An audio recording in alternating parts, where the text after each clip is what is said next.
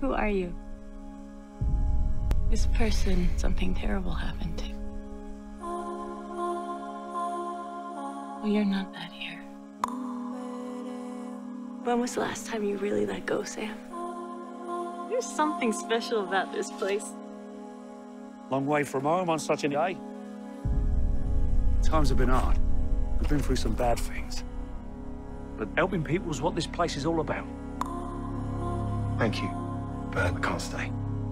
Then you need to come with us before that causeway closes, and you have to stay here in paradise forever. Well, you can't leave.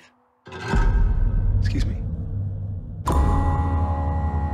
Something appalling happened here. And it's raging inside.